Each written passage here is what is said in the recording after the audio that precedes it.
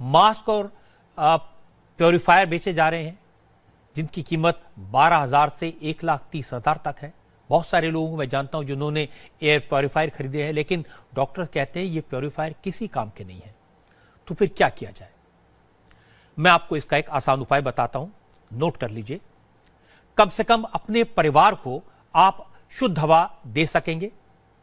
Kanpur IIT में research हुई।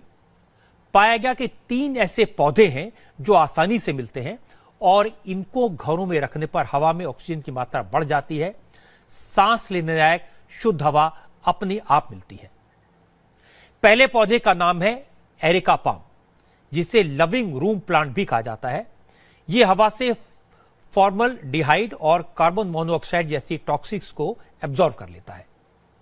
Fresh air देता है घर में कंधे की ऊंचाई तक के चार एरिका पाम लगाने से घर में साफ़ हवा मिलेगी। अच्छी बात यह कि एरिका पाम को तीन से चार महीने में एक बार धूप में रखने की ज़रूरत होती है। बहुत आसान है। दूसरा पौधा, हवा को शुद्ध करने वाला, mother in law tongue plant. इसे स्नेक प्लांट और बेडरूम प्लांट भी कहा जाता है।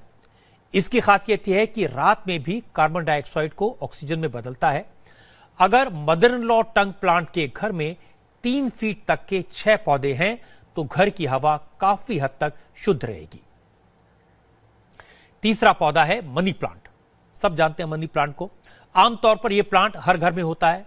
लोग सोचते हैं कि मनी प्लांट लगाने से पैसा आएगा। मनी आए ना आए, मनी प्लांट की हवा से कई तरह के केमिकल टॉक्सिन्स को साफ़ करने की ताकत होती है और यह फ्रेश एयर देता है। यह जगह भी कम लेता है और उसे ज़्यादा देखभाल की ज़रूरत नहीं होती। ये पानी में ही बड़ा हो जाता है। लेकिन यह जहरील हवा का दुश्मन है। आप लोग पूरे शहर का पॉल्यूशन तो दूर नहीं कर सकते, लेकिन कम से कम ये तीन पौधे घर में लगाकर अपने घर का पॉल्यूशन दूर कर सकते हैं, परिवार को साफ़ हवा दे सकते हैं। इसमें न ज़्यादा खर्चा है, न ज़्यादा मेहनत और ये साइंटिफिक है। बड़ी बात यह कि अगर ज़्यादातर घरों में ये पौधे होंगे तो शहर का पॉल्यूशन लेवल भी कब होगा?